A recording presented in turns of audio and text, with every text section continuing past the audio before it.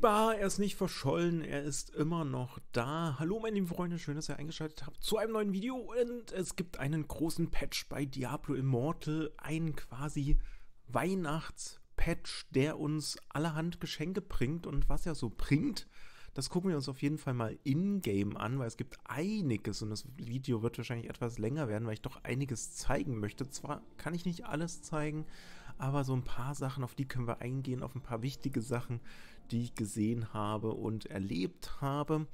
Das Allerwichtigste ist, sofort nach dem Patch, es hat nicht lange gedauert, vielleicht ein paar Stunden und ich war über 1000 kW mehr als vorher. Das könnt ihr euch nicht vorstellen. Das war ziemlich, ziemlich krass, kann ich euch nur sagen. So, da sind wir aber auch schon in-game und ihr seht, auch hier bei Ocomic hat sich ein wenig verändert. Er ist jetzt bei den Immortals und ja, auch dazu wird es nochmal ein Video geben. Was machen die Immortals? Wieso verkloppen die einen immer, wenn man versucht, Schätze aus der Schatzkammer zu stehlen und so weiter. Aber ich habe jetzt erstmal die Seite von Diablo auch geöffnet, um nichts zu vergessen, was hier in diesen Patch Notes erwähnt wird. Denn es gibt einiges, was als allererstes auffällt, wenn ihr euch einloggt. Das ist mir direkt sofort aufgefallen. Ich habe mich eingeloggt, dann gibt es hier auf jeden Fall eine neue Schaltfläche, aber was mir direkt aufgefallen ist, meine Kampfwertung war niedriger als vorher, als ich mich eingeloggt habe. Ich hatte vorher irgendwie 7300 kW gehabt und als ich mich eingeloggt hatte, hatte ich plötzlich nur noch 7100 kW. Also war irgendwas komisch und habe dann gemerkt, dass beim Religiar der Hölle sich etwas geändert hat. Und das war das allererste, was ich überhaupt im Spiel festgestellt habe, dass es jetzt dämonische Überreste gibt. Die habe ich alle schon verwertet übrigens, weil dafür kriegt man diese Leerblutschlacke, die man dann zum Aufwerten des Religiars be bekommt. Ihr bekommt keine Skoria in dem Sinne mehr.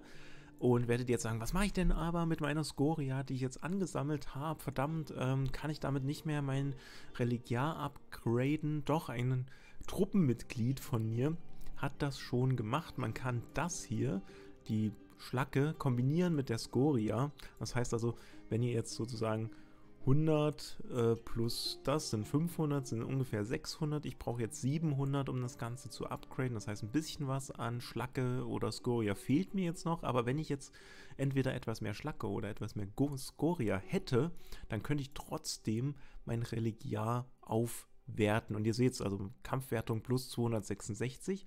Und das ist natürlich nicht alles, weil auch die Dinger, die hier drin sind, bringen euch natürlich noch Kampfwertung, weil sie Attribute mit sich bringen die können auch genauso zwei Attribute haben, die können aber auch Dreier-Attribute haben. Ich glaube, irgendwo habe ich hier eins mit drei. Genau hier.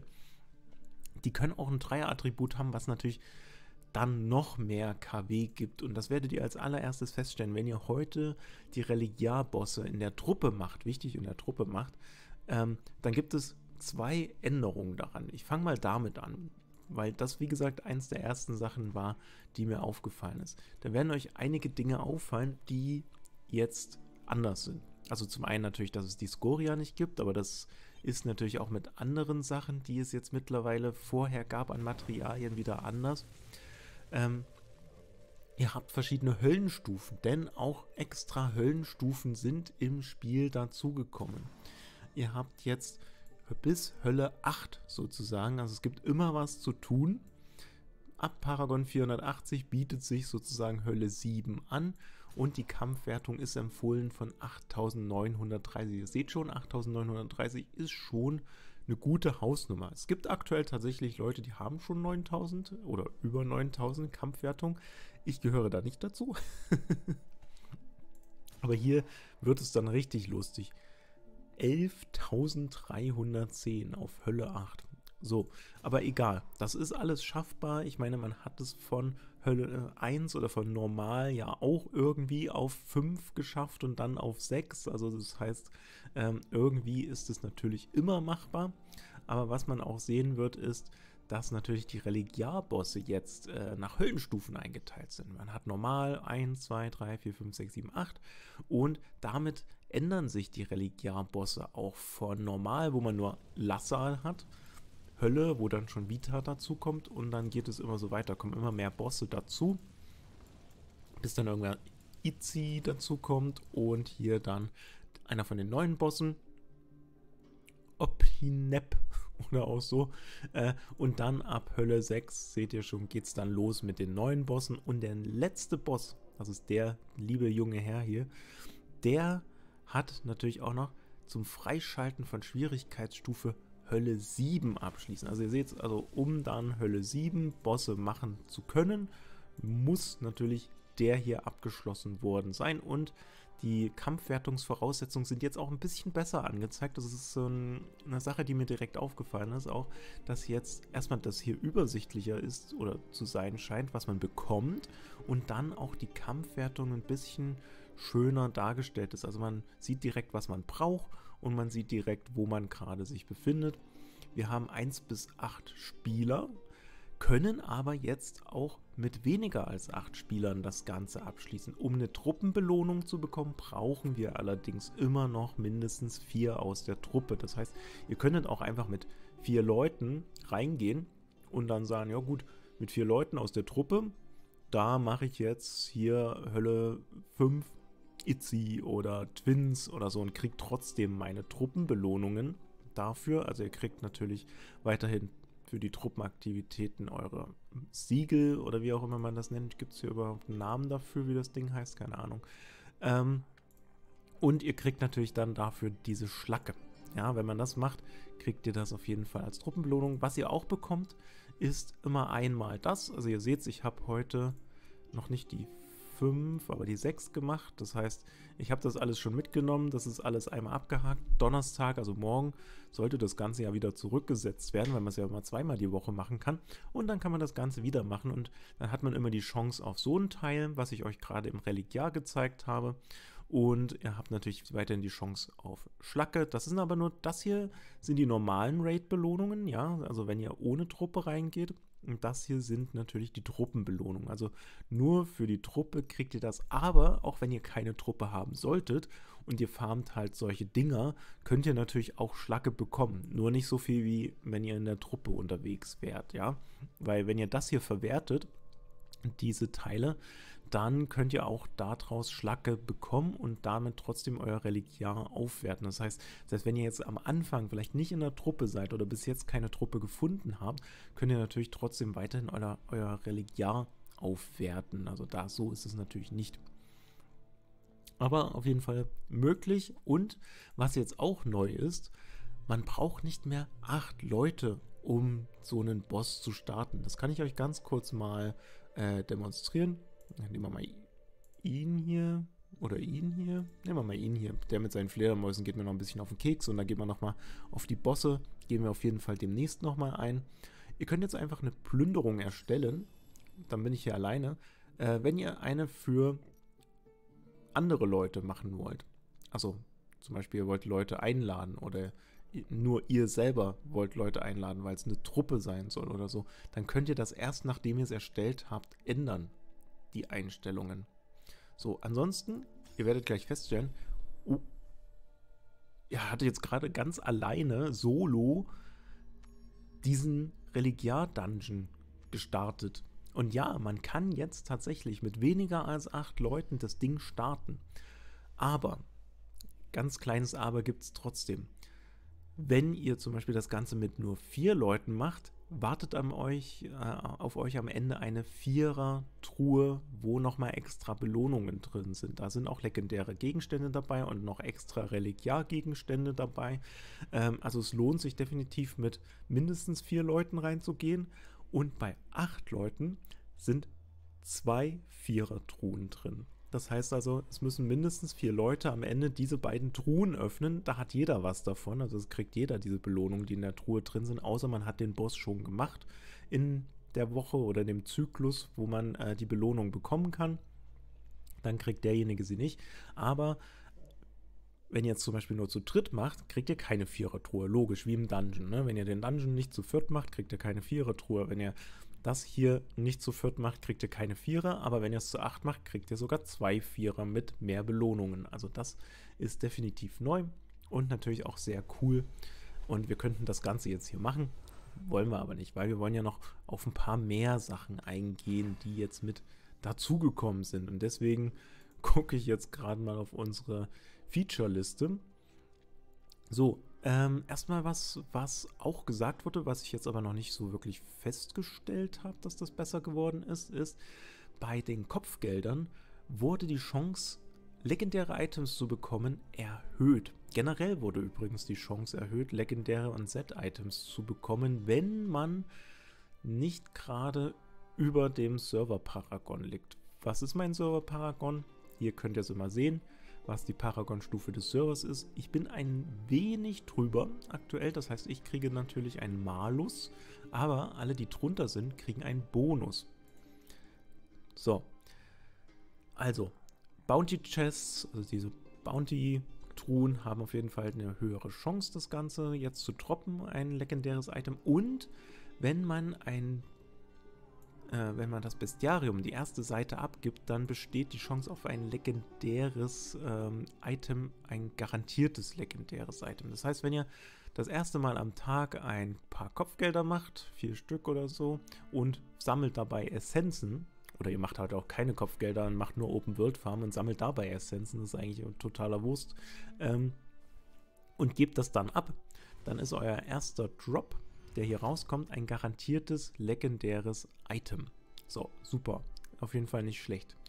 So, dann gibt es noch was, das habe ich allerdings heute schon gemacht, sieht man jetzt leider nicht mehr. Hier, wo eigentlich immer diese drei Truhen angezeigt werden für eure, täglichen Aktivitäten, wo man am Ende ja auch Platin bekommt, kann man jetzt auch, wenn man drei Dungeons am Tag macht, ein gratis Set-Item bekommen. Das heißt, macht ihr drei Dungeons am Tag, kriegt ihr definitiv auch ein kostenloses Set-Item. Und wenn ihr Glück habt, ist das Set-Item natürlich nice.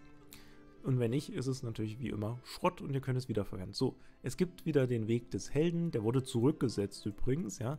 Auch Etappe 5 gibt es aktuell noch nicht, aber man kann trotzdem den Weg des Helden nochmal gehen und nochmal die Belohnungen dafür einstreichen. Das ist, sag ich mal, theoretisch schon ein bisschen was Positives. Es gibt lustigerweise einen neuen Rahmen, wie es aussieht, weil ich hatte den äh, für Etappe 4 schon, aber der sieht anders aus und der hier ist jetzt wieder neu. Also das heißt neuer Rahmen, neues Glück.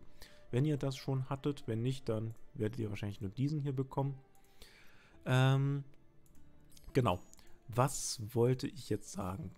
Außer, dass ihr jetzt beim Bestiarium ein garantiertes Set-Item bekommt.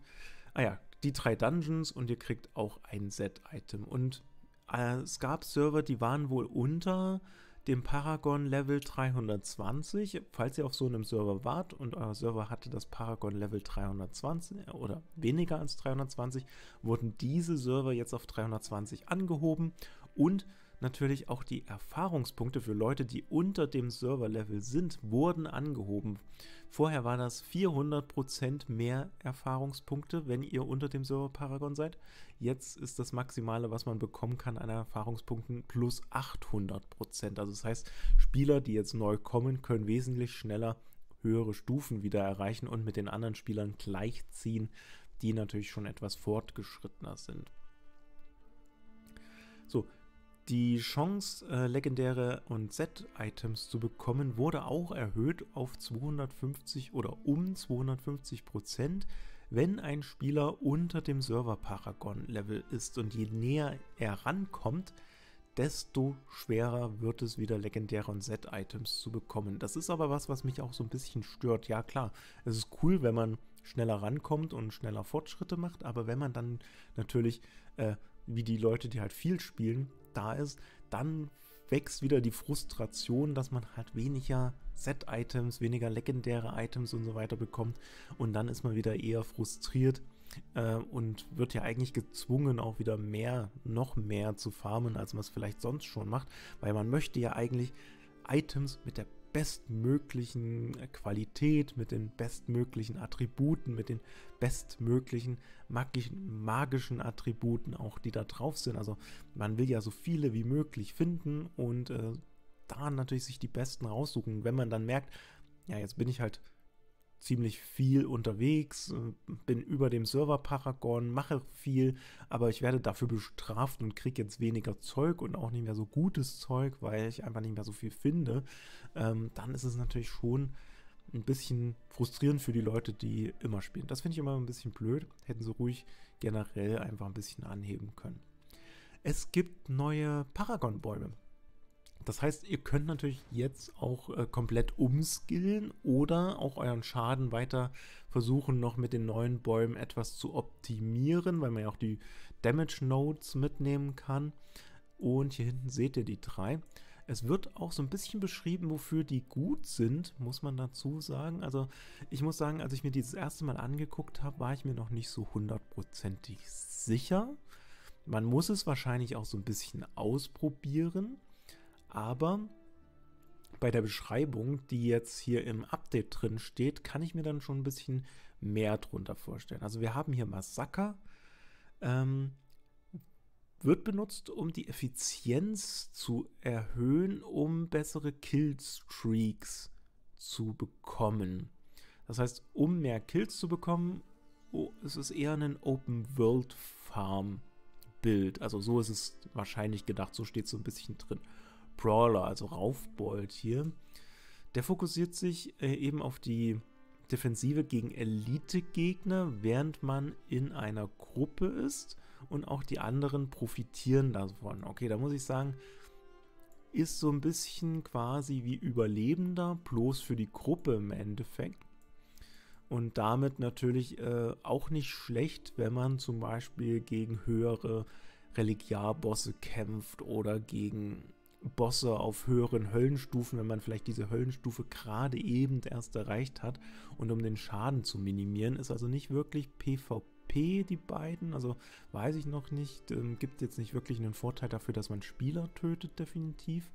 Und dann gibt es noch Duellant. Hat sich für mich erstmal angehört, als könnte das was Neues PvP-mäßiges sein. Habe dann reingeguckt und habe gesehen, mh, hm, da ist leider oder da ist einiges drin, was eher danach aussieht, als würde man belohnt werden dafür, dass man Monster tötet. Und dann habe ich das hier in den Update Notes gelesen.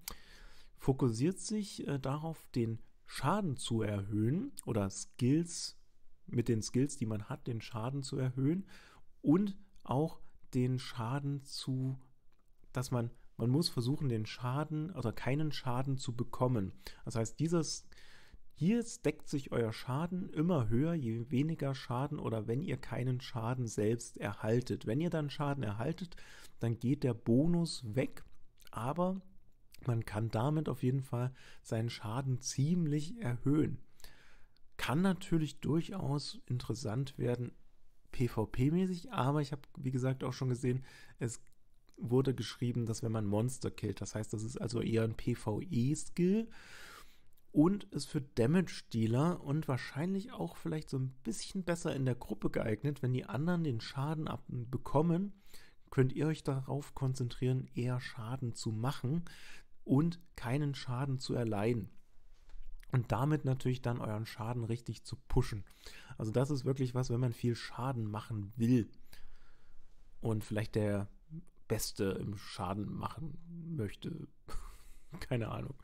Ähm, es gab auch noch Anpassungen bei Mönchen irgendwie, aber da müsst ihr euch selber mal reinlesen. Wenn ihr Mönch spielt, kann ich jetzt nicht da wirklich dafür viel dazu sagen. Set-Items. Ja, es gab auch eine Anpassung bei Set-Items. Das könnt ihr euch auch durchlesen. Vitus Urges, Urges for Peace Set. Ähm, Vitus Set. Was auch immer das war.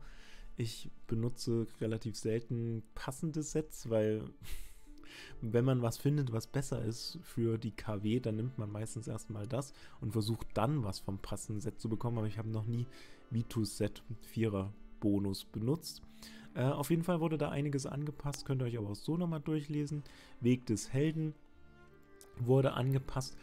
Und für den Schattenkrieg gab es auch Anpassungen. Also ihr kennt das ja, man geht in den Schattenkrieg, dann ist da diese unsterblichen Wächterstatue, gegen die man kämpfen muss, äh, wenn man Clan gegen Clan kämpft oder wenn man irgendwann auch im Ritual der Verbannung mal kämpft, dann kann man an den Punkt kommen, wo man diese großen unsterblichen Statue bekämpfen muss.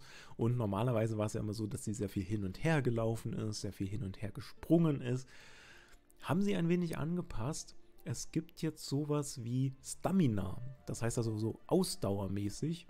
Wenn man zu viel rumläuft und rumhüpft, dann nimmt dieser Stamina-Balken ab oder dieser Ausdauerbalken ab und nur wenn man stehen bleibt, füllt er sich dann wieder langsam. Das heißt also, irgendwann muss der Gegner quasi irgendwann stehen bleiben und dann hat man Zeit auch drauf zu trashen und das ist für alle die, die vielleicht sonst immer nur in den Nebenkämpfen kämpfen durften, eine gute Nachricht, weil ihr könnt jetzt auch mal in die Hauptkämpfe reingehen und da kämpfen und die Kämpfe dauern auch nicht mehr vielleicht ganz so ewig teilweise, wenn die Leute immer nur hin und her laufen, weil es dann doch schon sehr nervig sein konnte.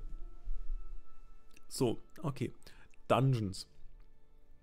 Es gibt jetzt einen Schmied am Ende aller Dungeons. Das heißt also, wenn ihr schmieden gehen wollt, müsst ihr nicht mehr in die Stadt gehen oder sowas, sondern könnt jetzt am Ende des Dungeons schmieden. Es gibt jetzt die Möglichkeit, dass legendäre, also orangene Elite-Gegner in Dungeon spawnen. Und jeder äh, Kill hat zwar immer die Chance auf ein legendäres Item, aber natürlich der erste Hit, oder nicht der erste Hit, der erste Kill von so einem Gegner hat natürlich die hundertprozentige äh, Chance. Obwohl man auch mal gehört hat, es soll wohl nicht ganz hundertprozentig sein. Und es gibt jetzt einen neuen Wegpunkt bei der Halle der Echos. Oder wie auch immer das Ding heißt, Höhle der Echos. Äh, falls ihr das mal gesucht habt und immer einen weiten Weg dorthin hattet, jetzt habt ihr es nicht mehr so weit. Jetzt gibt es einen neuen Wegpunkt. So, ähm. Ach ja, es gibt eine neue Zone, da können wir mal hinreisen. Jetzt hätte ich fast gesagt, hintraveln. Olli, nimm nicht so viel Englisch. Ähm, sorry, es ist immer bedingt dadurch, dass man auf Arbeit äh, sehr viel Englisch spricht. So, das ist die Map. Habe ich heute schon ein bisschen erkundet, auch weil man die Story da ein bisschen machen muss. Also wenn ihr euch einloggt, müsst ihr ja eine Story-Quest machen. Also eigentlich gibt es zwei. Einmal für das Religiar gibt es wieder eine Story um diesen neuen Religiar-Boss oder die Bosse. Wo kommen die her? Was sind das für Bosse? Will ich jetzt nicht so viel spoilern. Ist auf jeden Fall recht interessant, wenn man Stories gerne spielt und äh, so ein bisschen auf dieses Diablo-Lore natürlich guckt und äh, da so ein paar Infos haben will. Dann ist das auf jeden Fall was, was man sich angucken sollte. Ansonsten für die neue Quest, die es gibt, um sozusagen das Gebiet hier so ein bisschen zu erkunden, kommt man dann natürlich hier hin, wir können ja mal ein bisschen durchlaufen. Kurz. Gibt es hier verschiedene Punkte, die man sich vielleicht mal angucken kann. So, beamen wir uns mal weg. Ich habe die Wegpunkte auch schon freigeschaltet, damit ich es nicht immer so weit habe. Ja, ist, ist einiges mit Wasser. Also es gibt viel, wo man am Meer langläuft. Das ist quasi, ja, Wegfindung ist immer noch ungeil. Immer. Ähm, es gibt auf jeden Fall viel am Wasser, wo man langlaufen kann. Es ist eine Festung oder eine Stadt und eine Festung am Meer, die man hier wiederfindet.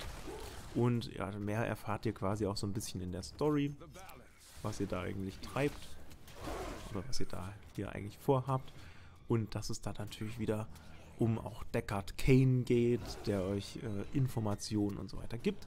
Aktuell gibt es hier noch keine Dungeons. Das wird sich wahrscheinlich aber in Zukunft ändern, weil was wäre denn auch eine Karte ohne Dungeons? Also ihr seht schon, hier geht es noch weiter. Den hier habe ich noch nicht freigeschaltet, fällt mir auf, aber da können wir ja mal hingehen. Ähm, wie machen wir das am besten? Ach ja, über die Stadt. Über die Stadt kommen wir wahrscheinlich am besten dahin. Und äh, ja, man erfährt halt über neue Gegner, es gibt neue, neue Mobs, die man killen kann, es gibt neue Elite-Gegner und es gibt auch schon den Spoiler auf ein paar neue Bosse, die wahrscheinlich kommen, die dann für hoffentlich die neuen Dungeons dann dort sein werden. Also ihr werdet sehen, hier, wenn wir uns das angucken, es gibt ein paar neue Gegner. ein paar, paar Dämonen im Käfig zum Beispiel. Oder hier so ein Heslon. Ja, gibt auf jeden Fall einiges, was man sich hier angucken kann. Auch die Map finde ich auch sehr schön. Sehr viele Sachen, die man zwar teilweise manchmal schon kennt, auch einige Sachen, die man vielleicht jetzt noch nicht kennt. Ach, wenn, wenn du klickst, dann klick doch ordentlich auf Comic. So. Es gibt auch wieder eine Stadt, also es gibt wieder einen Wegpunkt von der Stadt.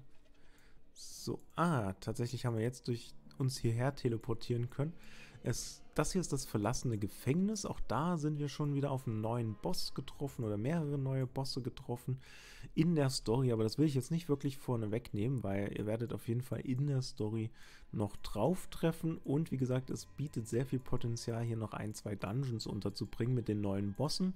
Ich hoffe auch, dass wir die neuen Bosse vielleicht dann in den ältesten Portalen sehen, weil es ja dann doch immer langweilig wird in den ältesten Portalen da das Ganze zu sehen.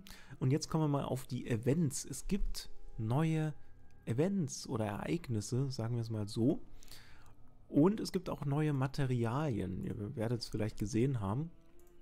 Es gibt jetzt, äh, Moment, wo ist es? Ja, genau.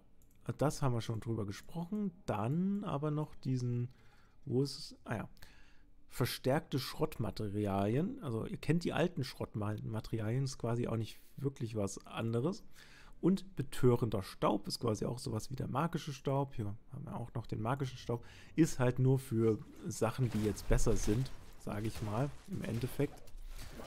Für eure besseren Sachen braucht ihr natürlich bessere, besseres Zeug, was man findet. Und das findet ihr dann nur wieder auf den höheren Qual oder, ja, ich sag schon Qual, äh, findet ihr halt nur auf den höheren Ebenen. Und äh, wenn ihr auf den höheren Ebenen seid, kriegt ihr dann eben dieses Zeug.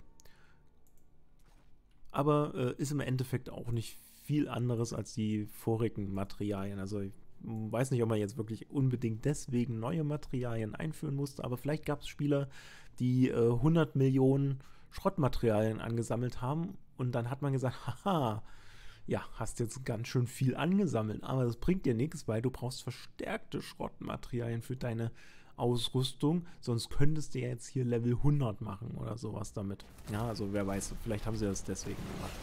Auf jeden Fall gibt es dieses Zeug und es gibt neue Ereignisse und Events. Ich werde mich mal, damit ich nicht immer belästigt werde von Gegnern, in die Stadt teleportieren. Ja, ihr seht schon, da kommen wieder welche. Ja, es ist äh, Hölle 6 falls sich jemand gefragt hat. Und deswegen, ja, es geht so einfach gerade, weil wir einfach so viele Geschenke heute bekommen haben und so viel neues Zeug und so viel durch das Religiar, dass das ziemlich krass ist. Hier gibt es auch, wie ihr sehen könnt, eine Offensive. Das ist ein neues Event, äh, was es hier auf der Map gibt, wo man scheinbar eine Verteidigung machen kann. Also so ähnlich wie wie äh, im Schloss Kryangar, bloß nicht als Truppe, sondern mit einfach random Leuten, die da hinkommen. Und dann kann man da an der Verteidigung mitmachen. Man kann wohl Donnersteine erhalten. Also jetzt ist die Beschreibung sogar nach Englisch.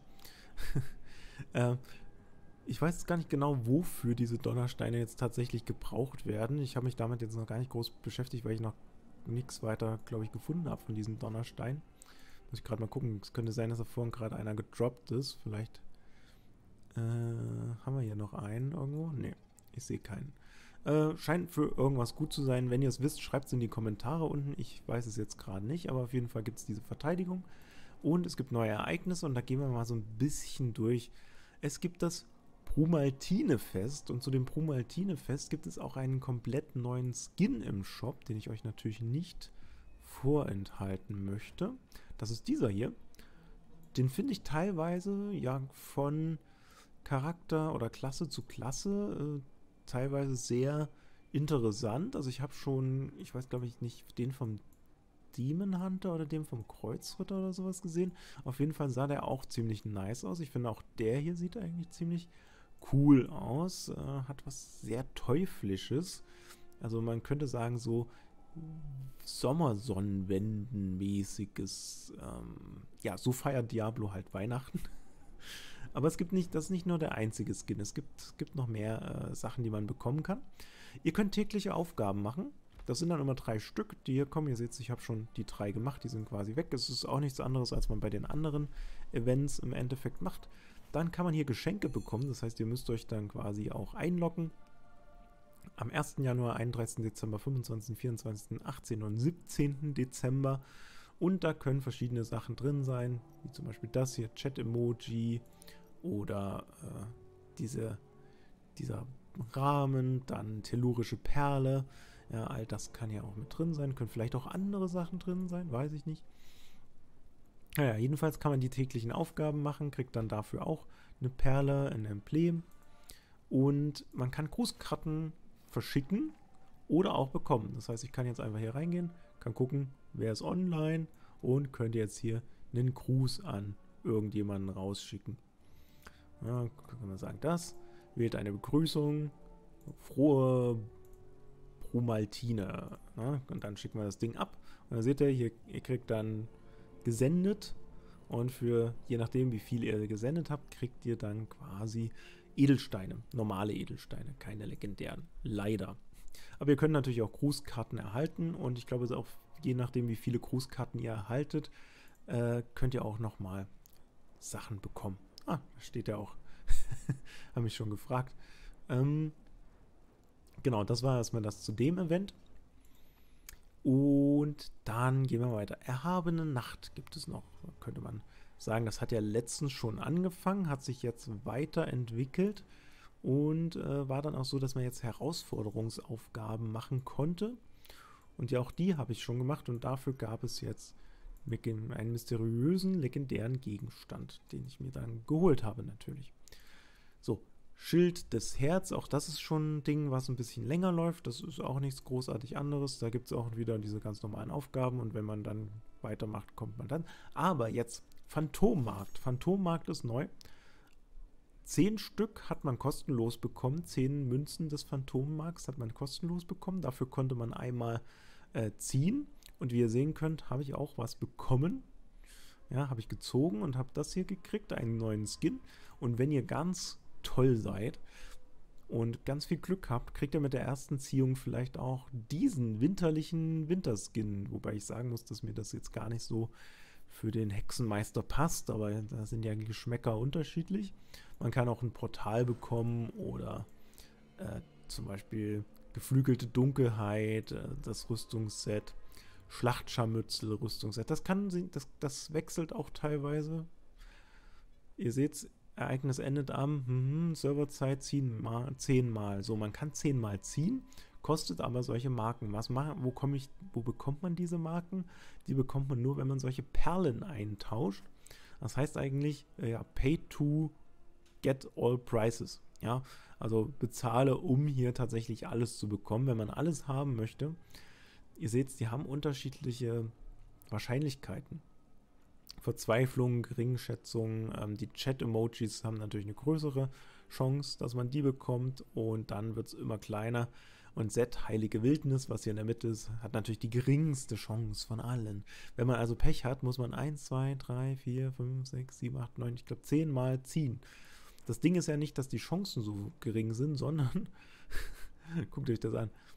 10 Münzen für die erste Ziehung.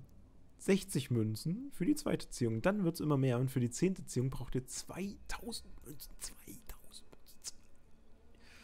Und wenn wir das jetzt machen, ja, möchtet ihr mit 60 Kugeln ziehen. Das heißt, ihr könnt entweder 60 Münzen einsetzen oder 60 Kugeln. Ihr könnt also insgesamt 2000 Kugeln theoretisch nee, sogar mehr hier lassen, weil ihr zieht ja 10, das ist einmal kostenlos. So, dann zieht ihr aber einmal mit 60 Kugeln, dann 150 Kugeln. Das addiert sich ja auf. Das heißt, wir haben ja schon mal 1000, 2000, 3000, 4000, ja, ungefähr 4000 Kugeln, die wir hier gelassen haben. Und wenn man dann tatsächlich die Zehnteziehung macht, dann hätten wir 6000 Kugeln. Also ziemlich verrückt was man hier an Kugeln lassen könnte, wenn man denn das wollte. Freunde werben hat sich auch, glaube ich, ein bisschen geneuert. Also hier seht ähm, sind ein paar Sachen dazugekommen, beziehungsweise der Rahmen ist jetzt, glaube ich, auch ein bisschen anders. Und wenn ihr Diablo 4 vorbestellt habt, wozu ich auch nur raten kann, also wer großer Diablo-Fan ist und von Diablo 1 und 2 Fan war, der sollte sich das auf jeden Fall holen. Von der 3 unterscheidet sich es doch ziemlich krass. Also ich habe schon die Closed Beta gespielt, kann leider nicht zeigen, weil ist geheim. Aber wenn die Open Beta anfängt, kann ich euch vielleicht mal so ein bisschen Footage zeigen, wie man es so schön nennt, ähm, von dem, was ich aufgenommen habe. Da gibt es nämlich einiges, was ich euch durchaus zeigen kann. Ja, ähm, Reliquiar hat man schon. Es gibt noch neue legendäre Edelsteine. Äh, ja, würde ich jetzt nicht alles durchgehen, könnt ihr aber gerne nochmal lesen. Es gibt einen 1 Sterne, zwei 2 Sterne und zwei 5 Sterne, die neu sind. Ob sich der für euch lohnt, einer davon, könnt ihr ja in der Beschreibung herausfinden. Aber ja, pff, wer will schon legendäre Edelsteine? Muss man dann entweder über den Markt holen, wenn man einen braucht, oder man hat Glück und findet ihn. Aber das Schlimmste ist ja bei den 5-Sterne-Edelsteinen immer eigentlich das Aufleveln. Jetzt gibt es noch was Erfreuliches, was ich euch eigentlich zeigen kann, ein bisschen interessanter ist als legendäre Edelsteine. Und zwar, Moment, gleich kommt's. Es gibt einen Barbier, der ist neu, gibt es jetzt hier in Westmark. Kann man hinlaufen, muss man aber nicht, und kann dort sein Aussehen verändern. Also quasi, wenn man damit unzufrieden ist, was man, wie man sich gestaltet hat, kann man sich hier den Charakter anpassen. Aktuell gibt es noch keine Geschlechteranpassung, also man kann jetzt nicht von männlich auf weiblich switchen, aber man könnte jetzt zum Beispiel sagen, okay, ich wollte doch lieber so aussehen oder nee, ich nehm, wollte doch lieber den oder den haben vom Aussehen her. Dann kann man das machen oder man sagt, nee, ich behalte doch lieber meinen und äh, lässt es dann eben alles beim Alten. Und hier gibt es dann vielleicht irgendwann, weil hier gibt es auch Perücken und so, vielleicht gibt es auch die Geschlechtsanpassung eines Tages hier. Das wäre ja schon mal ein Fortschritt, den wir hier haben könnten. Und es wird natürlich auch einen neuen Battle Pass geben. Und zwar den Season 8 Battle Pass. Der kommt am 22. Dezember um 3 Uhr Serverzeit. Es wird auch ein hungriges Mond-Event geben. Ähm, ich wollte gerade gucken, ob ich zu dem Battle Pass irgendwas gefunden habe, was die Rüstung angeht, aber nein, nicht wirklich. Aber hier könnt ihr schon mal sehen, hat ein bisschen Ähnlichkeit mit was, was wir schon mal gesehen haben. Aber sieht doch recht interessant aus. Bin mal gespannt, wie es dann aussieht in-game. Ja, die, die Bilder sind ja mal sehr schön gemacht. Das also Bilder machen können sie definitiv und auch Videos. Wenn ihr den neuen Trailer zu Diablo 4, 4 gesehen habt, dann äh, ja, seid auf jeden Fall gespannt. Das können sie. So, Bugfixes gab es, weiß ich gar nicht, gab es bestimmt auch, aber steht jetzt hier nichts mit drin. So, jetzt ist das Video schon ein bisschen länger geworden, aber ich denke, wir haben erstmal so die wichtigsten Sachen, haben wir, glaube ich, erstmal besprochen. Ich denke, das war auch das, was am allerwichtigsten war. Ähm, ich gucke gerade mal, aufwerten, ja. Genau, also ab einer gewissen Stufe werde ich es sehen, dass ihr dann nur noch roten Staub und rote Schrottmaterialien benutzen könnt. Da bin ich aber zum Glück aktuell noch nicht, außerdem fehlt mir gerade Gold. Als Unsterblicher äh, hat man ja immer mal irgendwie so ein bisschen Probleme an Gold zu kommen. Aber nichtsdestotrotz äh, seht ihr vielleicht, dass ich auch bei den ältesten, äh, bei den Herausforderungsportalen schon ein bisschen weitergekommen bin. Und hier ist es tatsächlich so, dass ihr schon die verstärkten Schrottmaterialien und die kryptischen Kristalle benötigt. Das heißt, hier brauchen wir dann schon die höheren Herausforderungsportale dann. Ich bin da nicht am Ende mit den Herausforderungsportalen, aber ab da, wenn man dann alles auf Stufe 10 hat, wenn man dann von 10 weitermachen will, dann braucht man das. Dann ist, kommt man nicht drum rum, sich das Ganze hier zu holen. Ich gucke gerade mal auf die Karte. Ähm, achso, das habe ich euch, glaube ich, zwar erzählt, aber noch nicht gezeigt. Es gibt jetzt diese Bäumchen hier, die sind fürs Event. Die verschwinden wahrscheinlich nach dem Event wieder. Da habe ich übrigens was festgestellt, was mir nicht ganz so gut gefallen hat, nämlich, dass ein Baum so ein bisschen einem die Sicht nimmt. Achso, übrigens ist ein wenig winterlich gestaltet worden, was ich ganz cool finde, weil ich stehe ja so auf solche Winter-Events und sowas, wo man dann Anpassungen macht. Moment, hier. Der Baum hier steht nämlich im Weg, wenn man die Truhe bekommt für die Kopfgelder und der blendet sich auch nicht aus, wenn man davor steht. Also das heißt, wenn die Truhe hier steht, dann klickt man manchmal aus Versehen diesen Baum an. So, und ich habe hier auch ein paar Karten bekommen, wie man sieht. Und dafür ist der Baum, dass man quasi seine Karten angucken kann. ihr seht's.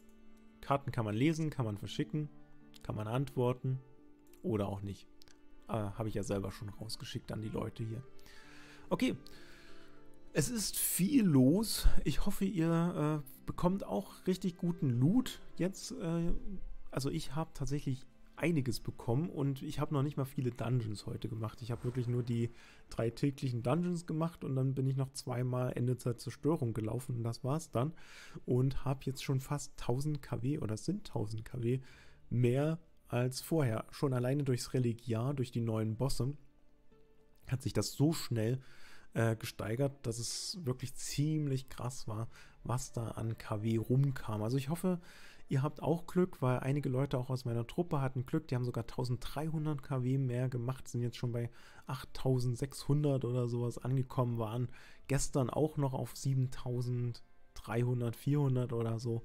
Also von daher äh, sei euch das Glück hold und ich hoffe, toi, toi, toi, auf guten Loot für euch. Und wir sehen uns bei den nächsten Videos. Ich mache auf jeden Fall noch ein bisschen was demnächst. Und warum ich nicht so viel gemacht habe, das erfahrt ihr auch noch demnächst. Bis dahin meine lieben Freunde. Lasst es euch gut gehen. Tschüss.